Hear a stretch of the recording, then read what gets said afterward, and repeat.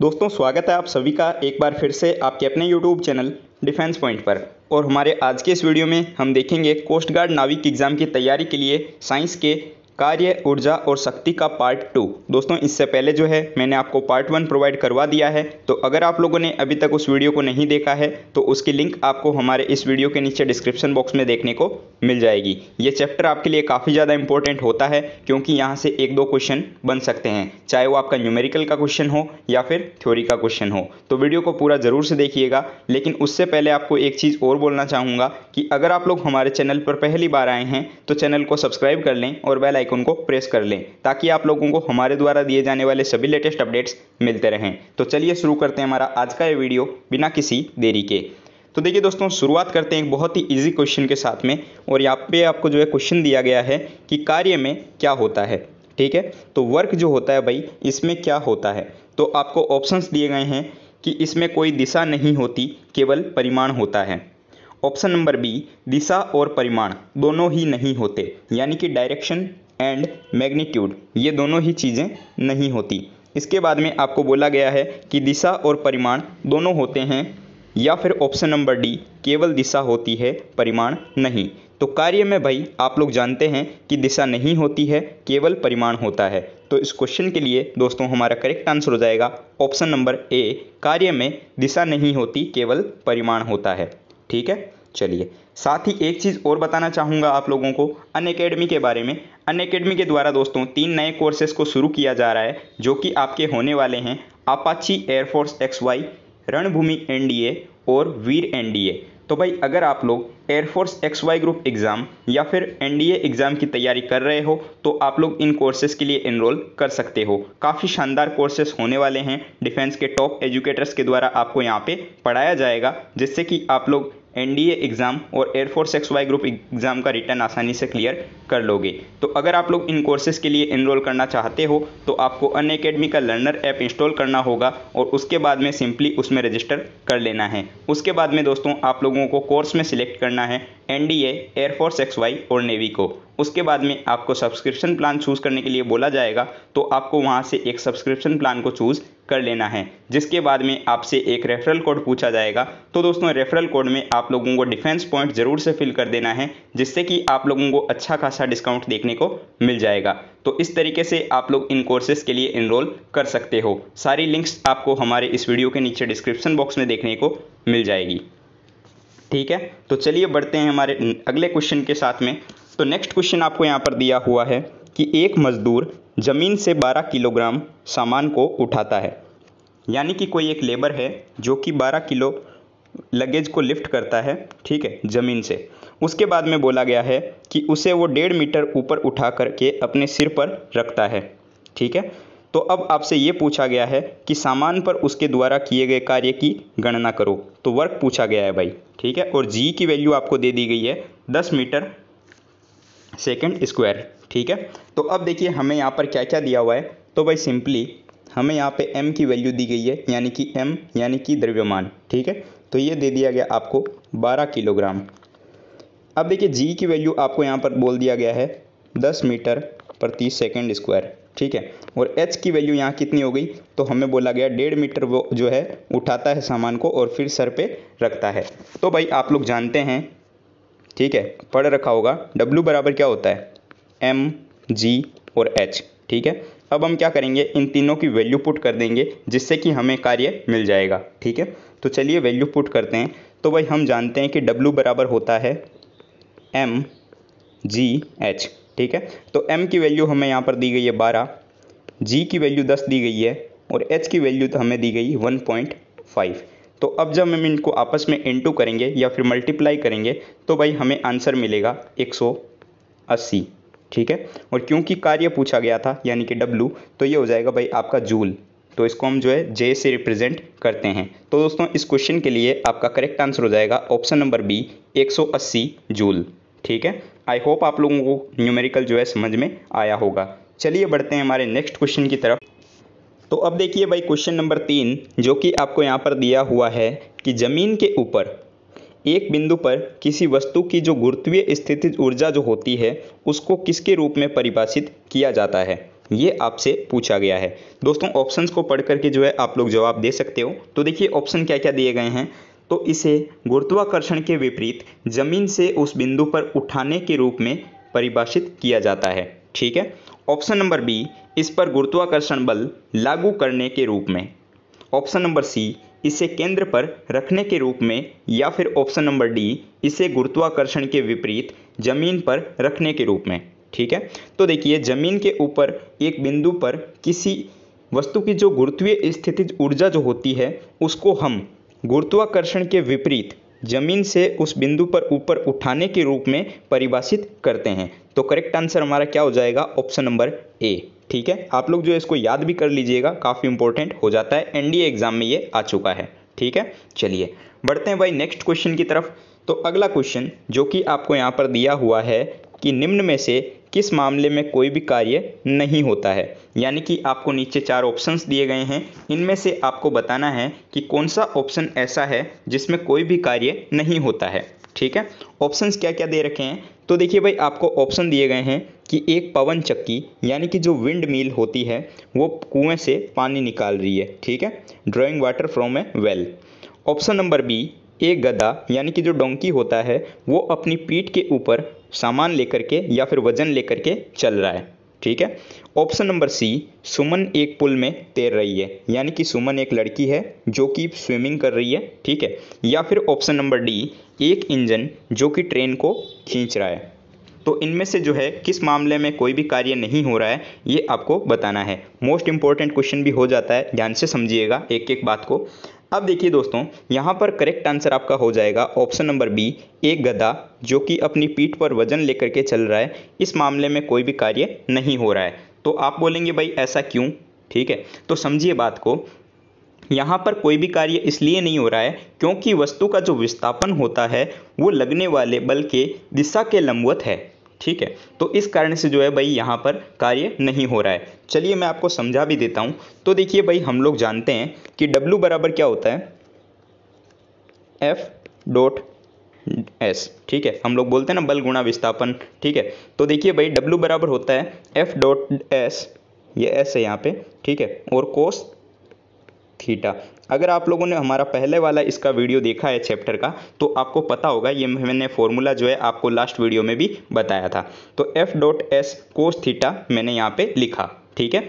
अब मैंने बोला कि वस्तु का विस्थापन लगने वाले बल की दिशा के लंबवत है, ठीक है? तो कोस कितना हो जाएगा यहाँ पे भाई? 90 ठीक है? तो यहाँ पर देखिए, ये हो जाएगा एफ़ डॉट एस और कोस 90 ये हो गया।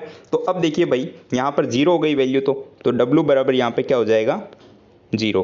तो यहाँ पर हमारा जो ऑप्शन नंबर बी है, वो सही है कि एक गधा जो कि अपने पीठ के ऊपर वज़न लेकर के चल रहा है, इस मामले में कोई भी कार्य नहीं होता है। आई होप आप लोगों को समझ में आया होगा। चलिए बढ़ते हैं हमारे नेक्स्ट क्वेश्चन की तरफ़। तो अब देखिए भाई क्वेश्चन नंबर फाइव जो कि आपको यहाँ पर दिया हुआ है कि बल के द्वारा किया गया कार्य धनात्मक होता है जब। यानी कि ऐसी कौन सी कंडीशन है जिसमें कि फोर्स के द्वारा जो किया गया कार्य है, वो पॉजिटिव हो? तो आपको ऑप्शंस दिए गए हैं कि विस्थापन बल की दिशा में होता हो। ऑप्शन नंबर बी विस्थापन बल के लंबवत होता हो। या फिर ऑप्शन नंबर सी आरोपित बल जो है, वो कोई विस्थापन नहीं होता हो। ठीक है? या फिर ऑप्शन नंबर डी विस्थापन बल की विपरीत दिशा में, यानी कि ऑपोजिट डायरेक्शन में हो। ठीक है? तो भाई इसके लिए करेक्ट आंसर क्या हो जाएगा? तो भाई आपका करेक्ट आंसर हो जाएगा, बल के द्वारा किया गया कार्य धनात्मक तब होगा जब विस्थापन बल की दिशा में हो, ठीक है? यानी कि option number A displacement is in the direction of force तो करेक्ट आंसर हो जाएगा आपका ऑप्शन नंबर ए चलिए बढ़ते हैं नेक्स्ट क्वेश्चन की तरफ़। तो भाई क्वेश्चन नंबर सिक्स जो कि आपको यहाँ पर दिया हुआ है कि निम्न में से क्या? कार्य का एक गुण नहीं है। यानी कि इनमें से कौन सा एक जो है कार्य की एक प्रॉपर्टी नहीं है। तो क्या क्या ऑप्शंस दिए गए हैं? देखिए, कि कार्य की दिशा होती है, यानी कि वर्क की डायरेक्शन होती है। ऑप्शन नंबर बी कार्य किए जाने के लिए वस्तु पर बल लगाया जाना आवश्यक है। ऑप्शन नंबर सी कार्य का केवल परिमाण होता है। या फिर ऑप्शन नंबर डी कार्य के होने के लिए वस्तु का विस्थापन होना आवश्यक है। तो भाई देखिए, आपको देखते ही पता चल रहा है ऑप्शन नंबर ए हमारा करेक्ट आंसर हो जाएगा, क्योंकि हम लोग जानते हैं कि कार्य जो है, वो भाई एक अदिश राशि होती है, ठीक है? चलिए, बढ़ते हैं नेक्स्ट क्वेश्चन की तरफ़। तो भाई क्वेश्चन नंबर सेवन जो कि आपको यहाँ पर दिया हुआ है कि 80 किलोग्राम की वस्तु को 40 मीटर की ऊंचाई तक लगभग 50 सेकंड में ऊपर उठाने हेतु औसत शक्ति कितनी होगी? औसत शक्ति की बात हुई है, यानी कि एवरेज पावर पूछी गई है। और जी की वैल्यू जो है भाई आपको यहाँ पर दी गई है 10 मीटर प्रति सेकेंड स्क्वायर ठीक है? तो जैसा कि हम लोगों ने क्वेश्चन नंबर टू को किया था, ये सेम वैसा ही है, लेकिन इसमें शक्ति पूछी गई है, यानी कि औसत शक्ति। तो देखिए, एक फॉर्मूला होता है, आप लोगों ने पहले भी पढ़ रखा होगा कि शक्ति बराबर क्या होता है? कार्य बटा समय, ठीक है? शक्ति बराबर क्या होता है? डब्लू अपॉन टी मैं लिख सकता हूँ? बिल्कुल। अब देखिए, W की वैल्यू हम लोग क्या रखेंगे? W बराबर हमने जैसा कि क्वेश्चन नंबर टू में पढ़ा था एम जी एच ठीक है? और यहाँ पर जो है, हमारे पास में तीनों की वैल्यू है। तो अब देखिए भाई, ये क्या हो जाएगा? P बराबर एम जी एच अपॉन में टी यानी कि हमारा फाइनल फॉर्मूला ये हो जाएगा, औसत शक्ति के लिए, ठीक है? तो चलिए हम वैल्यू पुट करते हैं और आंसर को निकालते हैं। तो अब देखिए क्वेश्चन में हमें क्या क्या दिया हुआ है? तो भाई, हमें यहाँ पर बोला गया है कि m की वैल्यू है आपके 80 किलोग्राम ठीक है? 80 किलोग्राम जो है, हमारी वैल्यू है m की। उसके बाद में g की वैल्यू कितनी दी गई है? तो g की वैल्यू भाई, आपको यहाँ पर दे दी गई है, देखिए 40 मीटर। सॉरी हाइट दे दी गई है यहाँ पे, ठीक है? और g की वैल्यू जो है, आपको यहाँ पर कितनी दी गई है? 10 ठीक है? ये चीज़ आपको समझ में आ गई। अब देखिए टी यानी कि टाइम जो है, वो आपको कितना दिया हुआ है? तो भाई पचास सेकंड आपको टाइम बोला गया है यहाँ पे, ठीक है? तो हमने फॉर्मूले में वैल्यू पुट करनी है और आंसर निकाल लेना है। तो मैंने आपको बोला कि पावर बराबर क्या हो जाएगा? M G H upon T तो एम की वैल्यू है भाई एट्टी ठीक है? जी की वैल्यू है दस और एच की वैल्यू कितनी हो गई? एच की वैल्यू आपकी हो गई चालीस और टी की वैल्यू हमें दी गई है फिफ्टी तो यहाँ देखिए दस एक कम दस और दस पंजे पचास, ठीक है? कट गया। अब देखिए पाँच एक कम पाँच और आठ पंजे चालीस, ये भी कैंसिल हो गया। अब आठ को आठ से जब मैं गुणा करूँगा तो भाई ये मेरे को मिल जाएगा चौंसठ और ये अस्सी है तो ये हो जाएगा छः सौ चालीस। तो कितना हो गया? छः सौ चालीस और ये भाई शक्ति पूछी गई है तो ये हो जाएगा जूल पर सेकंड। ठीक है? आई होप आप लोगों को समझ में आया होगा।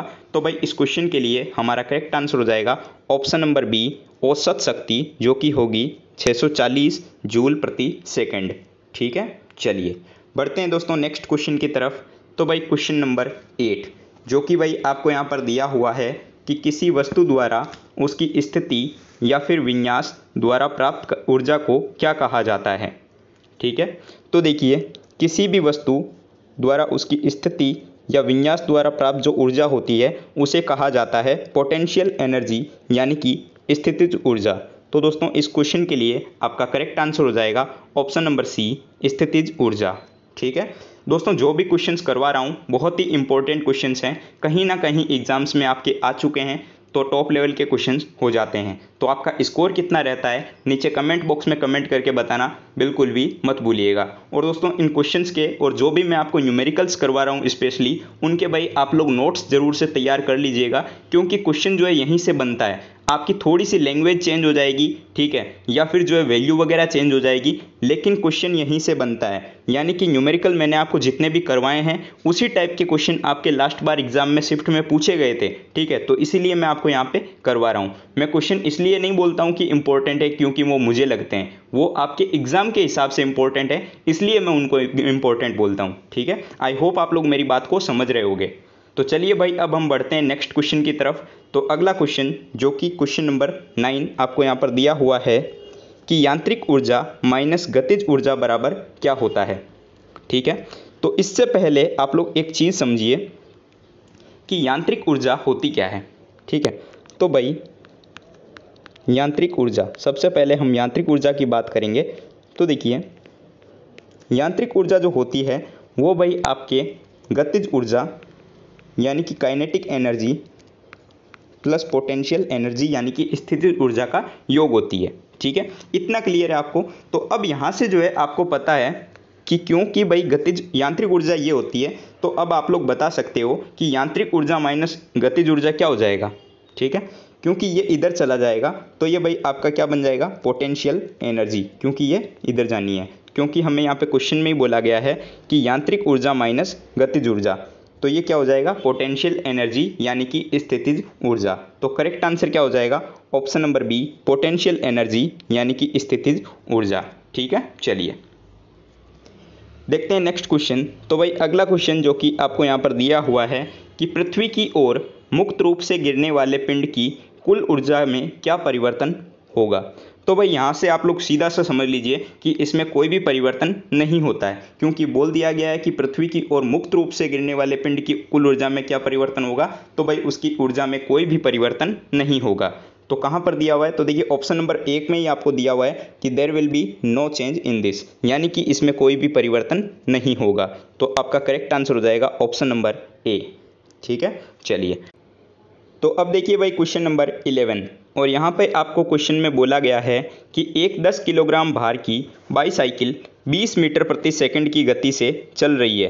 तो बाईसाइकिल की गतिज ऊर्जा क्या होगी? ठीक है? यानी कि आपको यहाँ पे गतिज ऊर्जा बताना है।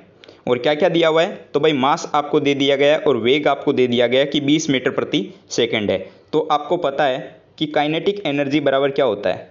ठीक है? तो काइनेटिक एनर्जी यानी कि गतिज ऊर्जा बराबर होता है एक बटा दो एम वी स्क्वायर ये क्वेश्चन जो है मैंने आपको पहले वीडियो में भी इसी टाइप का क्वेश्चन एक करवाया था। तो अगर आप लोगों को याद हो तो हमें जो है यहाँ पे सिर्फ़ वैल्यू पुट करनी है और आंसर मिल जाएगा। तो देखिए फिर से।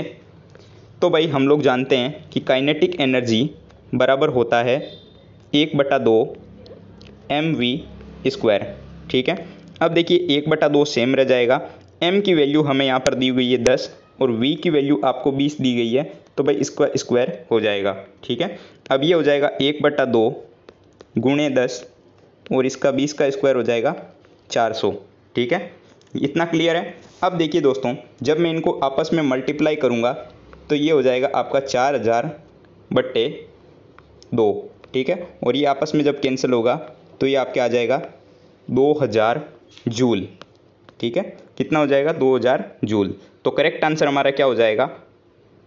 तो ऑप्शन नंबर डी इनमें से कोई नहीं। क्योंकि देखिए, हमें कितना मिला है? 2000 जूल, जो कि आपको ऑप्शन में दिया ही नहीं है। तो correct answer will be option number D none of these यानी कि इनमें से कोई नहीं। आई होप आप लोगों को समझ में आया होगा। दोस्तों, बहुत ही इजी क्वेश्चन है। कभी कभी जो है, सिर्फ़ एक फॉर्मूले पे बेस्ड क्वेश्चन भी आ सकता है। तो आप लोग इनको इग्नोर बिल्कुल भी मत कीजिएगा। बस इनको नोट करते चलिए। चीज़ों को समझते हुए चलिए, सारी चीज़ें आपको समझ में आएगी हंड्रेड परसेंट गारंटी लेता हूँ, ठीक है? चलिए, बढ़ते हैं अगले प्रश्न की तरफ़। तो भाई क्वेश्चन नंबर ट्वेल्व यहाँ पर देखिए आपको क्या बोला गया है कि एम द्रव्यमान की एक वस्तु को भूमि स्तर से, यानी कि ज़मीन से चार एच की ऊंचाई पर उठाया जाता है। फोर एच की ऊंचाई तक जो इसको उठाया जाता है। तो वस्तु की स्थितिज ऊर्जा ज्ञात करो। ठीक है? बहुत ही ईजी है। देखिए क्या होता है। तो भाई पोटेंशियल एनर्जी बराबर क्या?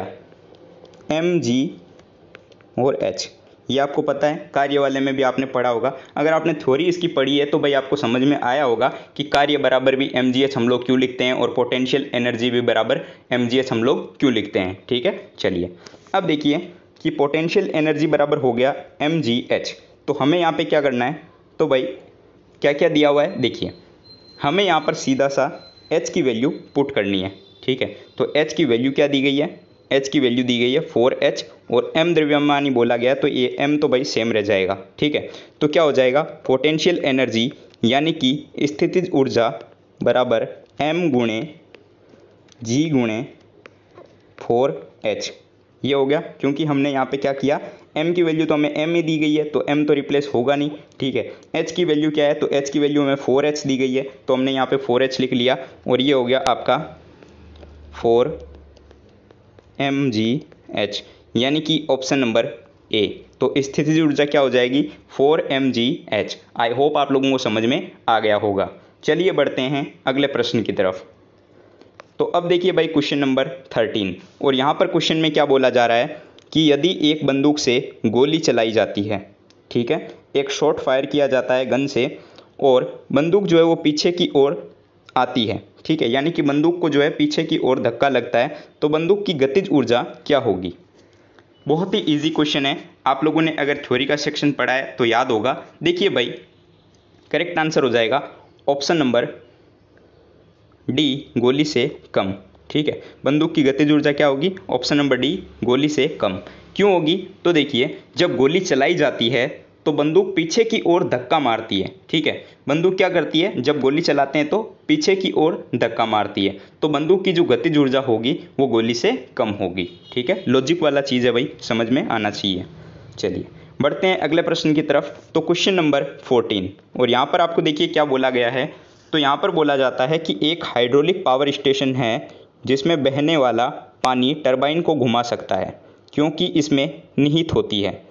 तो देखिए पावर स्टेशन पर बहने वाला पानी का जो टरबाइन होता है, वो घुमा सकता है क्योंकि, भाई, इसमें गतिज ऊर्जा होती है, यानी कि काइनेटिक एनर्जी निहित होती है। तो करेक्ट आंसर हो जाएगा ऑप्शन नंबर सी ठीक है? गतिज ऊर्जा या फिर काइनेटिक एनर्जी ठीक है? चलिए। दोस्तों, देखते हैं आज के हमारे इस वीडियो का लास्ट क्वेश्चन क्योंकि यहाँ से जो है मैं इस वीडियो से तीन तीन पार्ट आपको प्रोवाइड करवाऊँगा। तो आज हमारा जो है ये सेकंड पार्ट था और लास्ट पार्ट जो है आपको नेक्स्ट वीडियो में मिल जाएगा, जिसके बाद में आपका कार्य, ऊर्जा और शक्ति का चैप्टर खत्म हो जाएगा। क्योंकि ये काफ़ी इंपॉर्टेंट चैप्टर होता है और यहाँ से जो है न्यूमेरिकल्स के क्वेश्चन भी ज़्यादा पूछे जाते हैं और थ्योरी में भी जो है भाई काफ़ी इंपॉर्टेंट क्वेश्चन बनते हैं, ठीक है? तो क्वेश्चन ज़्यादा नहीं करवा रहा हूँ, लेकिन आप लोगों को सारी चीज़ें समझनी है नोट करते हुए चलना है, सारे न्यूमेरिकल्स को फिर से एक बार ट्राई करना है, जिससे कि आप लोगों को फॉर्मूला याद हो, चीज़ें याद हो, ठीक है? चलिए, देखिए क्वेश्चन नंबर फिफ्टीन और यहाँ पर आपको भाई क्वेश्चन दिया गया है कि साइकिल चलाते समय ऊर्जा का किस प्रकार रूपांतरण होता है, ठीक है?